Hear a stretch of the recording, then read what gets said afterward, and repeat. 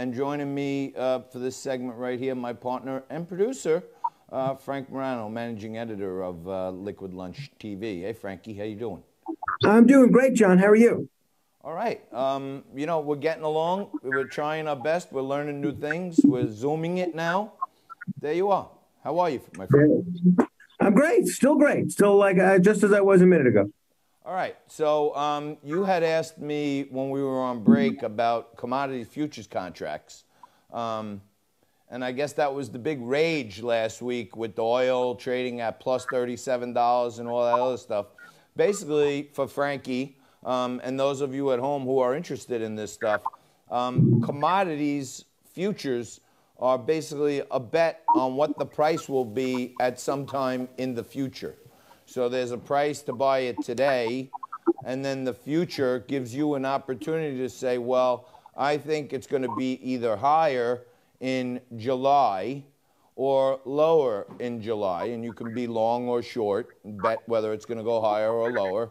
Um, and then your spot price today uh, versus what you think it will be then will be either the income you get, someone pays you to sell it to you at a later date, or you pay someone to be able to sell it to them at a higher price at a later date. So it's really just a bet on the future, hence the futures contract. Is that anything of help to you? Well, yeah. Well, no, I, I, know all that. I just had some questions about, you know, what ex- how the contract process works with limit orders and stuff like that. But it's not, uh, you know, it's stuff. But I, will talk to you about it off air after the after the show. I, I understand what futures are, what commodity oh, okay. futures. Well, are. I thought I was just trying to give the layman for anybody out there. Yeah. Um, but yeah, I mean, the future is really an electronic. It's really an electronic product. Um, and you can buy it at the market. You can put limits in it, but they trade kind of like options. Um, very okay. risky. A um, lot of speculation in there. You could have a big swing. You could be a big winner. You could be a big loser.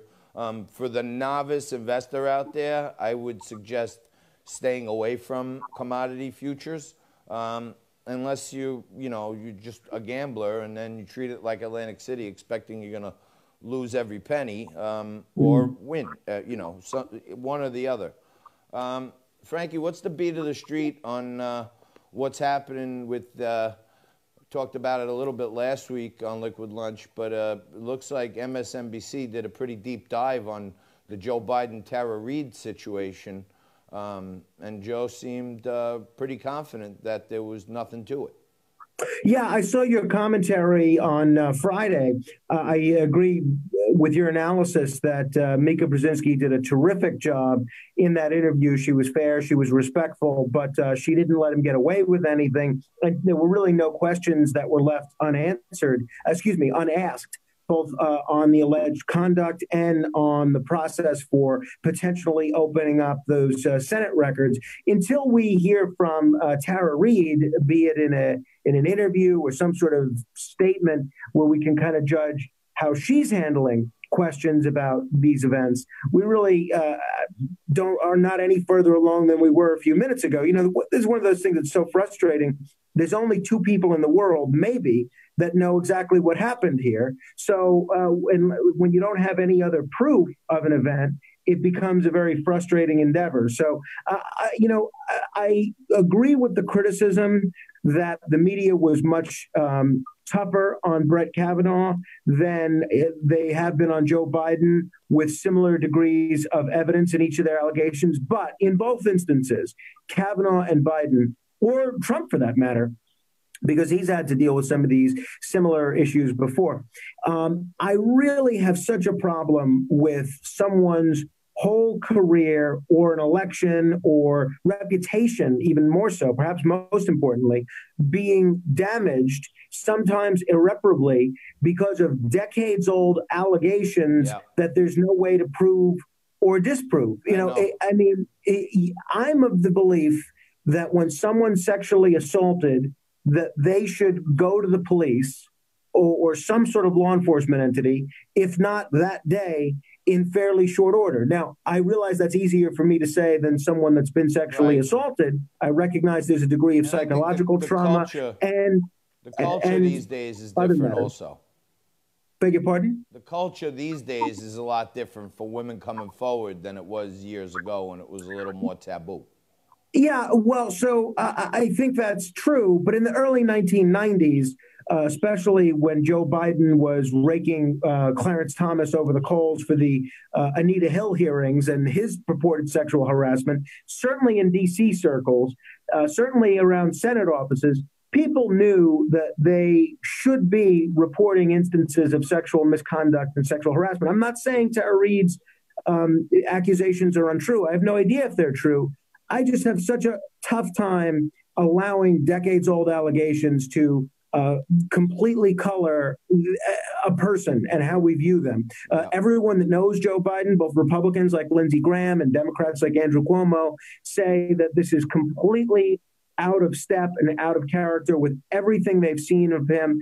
And one of the things that we tend to see with people that engage in this sort of conduct is that they do it more than once. So uh, I'm I'm skeptical, but I'm eager to hear Tara Reade's story. It could not have been an easy thing for her to make this decision to come forward. So um, you know, if she has the courage to do that, I guess we should at least listen to what she has to say.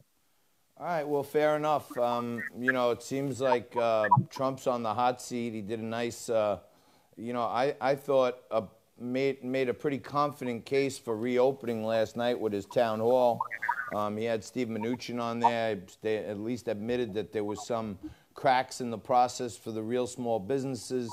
And, uh, you know, Trump says he's going to try to even look at that. So I think um, in our last minute here, it sure looks like – uh, small businesses need to get the, uh, the engine fired up, or we're going to have a bigger problem on our hands. Well, that's for sure. And uh, it was interesting to see President Trump saying he's been treated worse than any president since Lincoln, um, even though Lincoln was assassinated. So they treated Lincoln pretty poorly. But uh, I thought he did a good job in terms of uh, economic salesmanship and instilling confidence in terms of the people that are handling both the economic end of things and the public health aspect of things. But in terms of what you're saying, John, on the small business front, that's why it's so important that the job that our community banks have been willing to do. The big banks had no interest in lending to anybody but big business. It's the small and mid-sized banks that were willing to take a chance on small businesses. My bank, Empire State Bank, they wrote $10 million in local loans. Bayonne Community Bank in Jersey and New York, or BCB Bank, I think they're called now, they have been at the vanguard of this. So kudos and hats off to all the small banks out there that were actually willing to lend to small business, which is what this program was entitled to promote. Well, a, uh, that that never a truer statement has been told because the uh, community banks are the ones that came to the rescue. And people think, oh, the government's giving you the money, but every so often um, you find out that the government doesn't indemnify the banks, so they took risk. We're going to take well, the risk here of going to commercial. Um, but we don't want to lose you because coming up right after this, we're going to introduce you to another couple of fun characters. John Burnett and David Eisenbach are going to join us, a Democrat and a Republican, and talk about what they both see. Frankie's going to stick with us.